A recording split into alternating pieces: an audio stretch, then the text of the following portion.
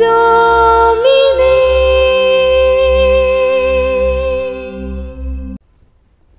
ഈശോ മിശിഹായിക്ക് സ്തുതിയായിരിക്കട്ടെ. പ്രിയപ്പെട്ട മക്കളെ ഒരു പ്രാർത്ഥനയോടുകൂടി നമ്മുടെ ക്ലാസ് നമുക്കിന്ന് ആരംഭിക്കാം. സ്നേഹനിധിയായ ഈശോയെ അങ്ങയുടെ വലിയ സ്നേഹത്തെയോർത്ത് ഞങ്ങൾ അങ്ങേക്ക് നന്ദി പറയുന്നു. അങ്ങയെക്കുറിച്ച് അറിയുവാനും അറിയുന്നവ ഞങ്ങളുടെ ജീവിതത്തിൽ പ്രാവർത്തികമാക്കുവാനും അങ്ങ് ഞങ്ങളെ സഹായിക്കണമേ. പ്രിയപ്പെട്ട മക്കളെ എല്ലാ ദിവസവും സ്കൂളിലെ പഠനവുമായി നിങ്ങളെല്ലാവരും തിരക്കിലായിരിക്കുമെന്നറിയാം എങ്കിലും കഴിഞ്ഞ രണ്ട് ഞായറാഴ്ചകളായി നമ്മൾ ചർച്ച ചെയ്തുകൊണ്ടിരുന്ന പാഠഭാഗവും അതിലെ ആശയങ്ങളും തീർച്ചയായും നിങ്ങളുടെ മനസ്സിൽ നിറഞ്ഞു നിൽക്കുന്നുണ്ടാവും. നമ്മൾ എന്തിനെക്കുറിച്ചായിരുന്നു പഠിച്ചുകൊണ്ടിരുന്നത്? അതെ പരിശുദ്ധ അമ്മയുടെ വിവിധങ്ങളായിട്ടുള്ള അഭിസംബോധനകളെ പരിചയപ്പെടുകയായിരുന്നു. ഇന്ന് നമ്മൾ പരിചയപ്പെടുന്നത് പരിശുദ്ധ അമ്മയെക്കുറിച്ച് നമ്മൾ പറയുമ്പോൾ ഏറ്റവും ആദ്യം നമ്മുടെ മനസ്സിലേക്ക് വരുന്ന ഒരു അഭിസംബോധനയാണ്. അതെന്തായിരിക്കും? കറക്റ്റ്. സ്വർഗാരോപിതയായ പരിശുദ്ധ അമ്മ. സ്വർഗാരോപിതയായ പരിശുദ്ധ അമ്മയെക്കുറിച്ച് പറയുമ്പോൾ രക്ഷാകര പദ്ധതിയിൽ യേശുവിനോടൊപ്പം പങ്കാളിയായ പരിശുദ്ധ അമ്മയും അവളുടെ ജീവിത പുണ്യം കൊണ്ട് ആത്മശരീരങ്ങളോടുകൂടി സ്വർഗത്തിലേക്ക് കരയേറ്റപ്പെട്ടു. ഈ ഒരു വിശ്വാസ സത്യത്തെയാണ് സ്വർഗാരോപിതയായ മറിയം എന്നതുകൊണ്ട് നമ്മൾ അർത്ഥമാക്കുന്നത്. നമുക്കറിയാം ജന്മപാപമില്ലാതെ ജനിച്ച പരിശുദ്ധ അമ്മ കറയറ്റ ജീവിതത്തിലൂടെ ഈ ഒരു പുണ്യപ്പെട്ട യാത്രയിലേക്ക് നടന്നെടുക്കുകയായിരുന്നു. പരിശുദ്ധ അമ്മയെ സ്വർഗാരോപിത എന്ന് വിശേഷിപ്പിക്കുമ്പോൾ ആ ഒരു തിരുനാളിന്റെ പ്രാധാന്യം നമ്മുടെ മനസ്സിൽ നിറഞ്ഞു നിൽക്കാറുണ്ട്. എല്ലാ വർഷവും നമ്മൾ ഭാരതീയരായതുകൊണ്ട് തന്നെ സ്വാതന്ത്ര്യദിനം ആഘോഷിക്കുന്ന അതേ ഓഗസ്റ്റ് പതിനഞ്ചിന് തന്നെയാണ് നമ്മൾ സ്വർഗാരോപിതയായ നമ്മുടെ അമ്മയുടെ തിരുനാളും ആഘോഷിക്കുന്നത്. യേശുവിന്റെയും മറിയത്തിന്റെയും ഉദ്ധാനത്തെക്കുറിച്ചുള്ള ചിന്തകൾ വരുമ്പോൾ രണ്ടും തമ്മിൽ ചെറിയൊരു അന്തരമുണ്ട്. യേശുനാഥൻ സ്വർഗാരോഹണം ചെയ്തു എന്നാണ് നമ്മുടെ വിശ്വാസം. എന്നാൽ യേശുവിന്റെ അമ്മയായിട്ടുള്ള പരിശുദ്ധ അമ്മ അവൾ സ്വർഗാരോപിതയായി എന്നാണ് നമ്മൾ വിശ്വസിക്കുന്നത്. ഇതെന്താണ് എന്ന് ഞാനിപ്പോൾ കൂടുതൽ വ്യക്തമായി നിങ്ങൾക്ക് പറഞ്ഞു തരുന്നില്ല. കാരണം വികാരിയച്ഛന്റെയും അധ്യാപകരുടെയും മറ്റ് പഠന സാമഗ്രികളുടെയും ഒക്കെ സഹായത്തോടു കൂടി നിങ്ങൾക്ക് ഇതൊരു അസൈൻമെന്റായി ഇന്നത്തെ ക്ലാസ്സിന് ശേഷം ചെയ്യാവുന്നതാണ്. അടുത്തതായിട്ട് നമ്മൾ അറിയുന്ന ഒരു പ്രധാനപ്പെട്ട അഭിസംബോധനയാണ് പരിശുദ്ധ അമ്മ സഭയുടെ മാതാവ് എന്നത്. പോൾ ആറാമൻ മാർപ്പാപ്പ പരിശുദ്ധ അമ്മയെക്കുറിച്ച് പറയുമ്പോൾ വിശ്വാസികളോട് പരിശുദ്ധ അമ്മയെ സഭയുടെ അമ്മയെ എന്ന് വിളിക്കുവാൻ ആഹ്വാനം ചെയ്യുന്നു. പരിശുദ്ധ പിതാവ് പറഞ്ഞതുപോലെ പരിശുദ്ധ അമ്മ സഭയുടെ അമ്മ എന്ന് വിളിക്കുമ്പോഴാണ് എല്ലാ തരത്തിലും അവൾക്ക് നൽകുന്ന വിളിപ്പേരുകൾ അത് ഏറ്റവും അർത്ഥവത്താകുന്നത്.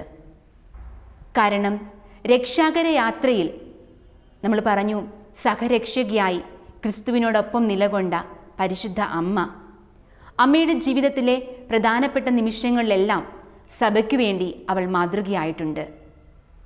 വിശുദ്ധ ഗ്രന്ഥത്തിലെ പുതിയ നിയമത്തിലൂടെ കടന്നു പോകുമ്പോൾ വ്യത്യസ്തങ്ങളായ അവസരങ്ങളിൽ പരിശുദ്ധ അമ്മ സഭയ്ക്ക് വേണ്ടി മാതാവായിത്തീരുന്നത് നമ്മൾ തിരിച്ചറിയുന്നു. കാനായിലെ കല്യാണ വിരുന്നിൽ ആശ്വാസത്തിന്റെ വാക്കുകളുമായി എത്തിയ പരിശുദ്ധ അമ്മ അതേ ദൗത്യം സഭയ്ക്കു വേണ്ടിയും പിന്നീട് തലമുറകളായി തുടർന്നുകൊണ്ടേയിരിക്കുന്നു. പരിശുദ്ധാത്മാവിനെ സ്വീകരിക്കുന്ന വേളയിലും അവരൊന്നിച്ചു ചേർന്നെന്ന് പ്രാർത്ഥിക്കുമ്പോൾ ശിഷ്യന്മാരോടൊപ്പം പരിശുദ്ധ അമ്മയും ഉണ്ടായിരുന്നു.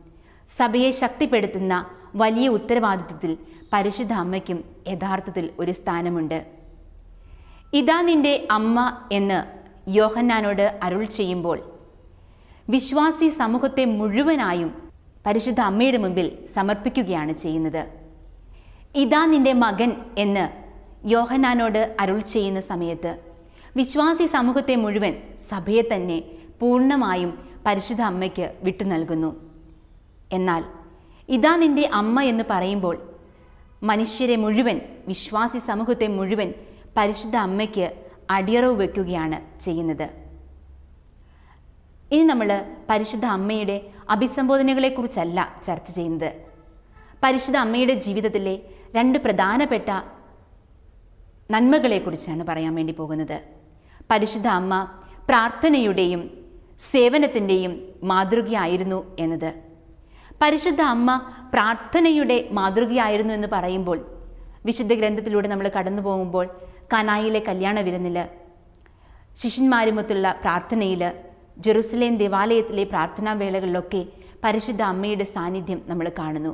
മാത്രമല്ല ഏറ്റവും അവസാനമായി കുരിശൻ ചുവട്ടിലും പ്രാർത്ഥനാ വേളയിൽ പരിശുദ്ധ അമ്മയുടെ സാന്നിധ്യം നിറവായി നമ്മൾ കാണുന്നു. ഇനി സേവനത്തിന്റെ മാതൃകയായ പരിശുദ്ധ അമ്മയെക്കുറിച്ച് പറയുമ്പോൾ കാനായിൽ അവളൊരു വലിയ മാതൃകയായി മാറി. അതോടൊപ്പം തന്നെ അമ്മ പരിശുദ്ധ അമ്മ അമ്മയായി എപ്പോഴും ക്രിസ്തുവിന്റെ ജീവിതയാത്രയിൽ കൂടെയുണ്ടായിരുന്നു. പ്രിയപ്പെട്ട മക്കളെ ഈ ഒരു പാഠഭാഗത്തിലൂടെ യുവജനങ്ങളുടെ അമ്മയായ പരിശുദ്ധ അമ്മയെ നമ്മൾ പരിചയപ്പെടുമ്പോൾ നിര നമ്മൾ നിരന്തരമായി അമ്മയെ വിളിക്കുന്ന പല വിളിപ്പേരുകളിലൂടെ അവളെ നമ്മൾ കൂടുതൽ അടുത്തറിയുകയായിരുന്നു. നമ്മുടെ ജീവിതത്തിന്റെ ശക്തിയായി മാറേണ്ടവൾ നമുക്ക് ജന്മം തന്ന അമ്മയാണ്. ഒപ്പം തമ്പുരാനോട് ചേർന്ന് നിൽക്കുവാൻ യേശുവിനോട് ചേർന്ന് നിൽക്കുവാൻ അവനോടൊപ്പം കൂട്ടുചേരുവാൻ നമ്മൾ യുവാക്കളായ നിങ്ങൾ യുവാവും യുവതിയുമായ നിങ്ങളെ പരിശുദ്ധ അമ്മയ്ക്ക് സമർപ്പിക്കുവാനാണ് ഈ ഒരു പാഠഭാഗം നമ്മളെ ഓർമ്മപ്പെടുത്തുന്നത്. പരിശുദ്ധ അമ്മയുടെ കൈ പിടിച്ചുകൊണ്ട് നമ്മുടെ ജീവിതത്തെ നമുക്ക് മുൻപോട്ട് നയിക്കാം. അങ്ങനെ അമ്മയോടൊപ്പമുള്ള നമ്മുടെ ജീവിതം നമ്മളെ നന്മയുള്ള വഴികളിലൂടെ നമ്മുടെ ആത്യന്തികമായ ലക്ഷ്യത്തിലേക്ക് എത്തിച്ചേരുവാൻ സഹായിക്കട്ടെ. ഈ ഒരു പാഠം പഠിച്ചു തീരുമ്പോൾ നിങ്ങൾ പരിശുദ്ധ അമ്മയെക്കുറിച്ച് കൂടുതൽ അറിഞ്ഞു. ഞാൻ നിങ്ങൾക്ക് തരുന്ന ഒരു പ്രവർത്തനം എന്ന് പറയുന്നത് പരിശുദ്ധ അമ്മയെ നമ്മൾ സ്വർഗാരോപിത എന്ന് പറയുന്നു. എന്നാൽ യേശുവിൻ നമ്മൾ സ്വർഗാരോഹണം ചെയ്തു എന്ന് പറയുന്നു. ഈ രണ്ട് പദങ്ങളും ഈ രണ്ട് കാര്യങ്ങളും തമ്മിലുള്ള വ്യത്യാസം എന്ത് എന്ന് കണ്ടെത്തി അന്വേഷിച്ച് കണ്ടെത്തുക. അങ്ങനെ ഒരു പഠനം നടന്ന് അത് നമ്മുടെ ജീവിതത്തിൽ എന്നും തിരിച്ചറിവുണ്ടാകട്ടെ. ആ ഒരു വർക്ക് നിങ്ങളുടെ ബുക്കിൽ നോട്ട്ബുക്കിൽ രേഖപ്പെടുത്തി വരിക. എല്ലാവർക്കും നല്ലൊരു ദിവസം ആശംസിക്കുന്നു. ഒരു പ്രാർത്ഥനയോടുകൂടി നമുക്ക് ഇന്നത്തെ ക്ലാസ് അവസാനിപ്പിക്കാം. പരിശുദ്ധ അമ്മേ മാതാവേ ഞങ്ങളെ ഓരോരുത്തരെയും അമ്മയ്ക്ക് ഞങ്ങൾ സമർപ്പിക്കുമ്പോൾ ഞങ്ങളുടെ ജീവിതങ്ങളെ ഏറ്റെടുത്ത് നന്മയുള്ള മക്കളായി വിശുദ്ധിയുള്ള മക്കളായി ഞങ്ങളെ ഞങ്ങളെ ഓരോരുത്തരെയും മാറ്റണമേ എന്ന് അപേക്ഷിക്കുന്നു. പരിശുദ്ധ അമ്മേ മാതാവേ നീ ഞങ്ങൾക്ക് താങ്ങായി തണലായി കൂടിയായിരിക്കണമേ. കാവൽ മാലാഖന്മാരെ ഞങ്ങളെ ഓരോ നിമിഷവും വഴി നടത്തണമേ.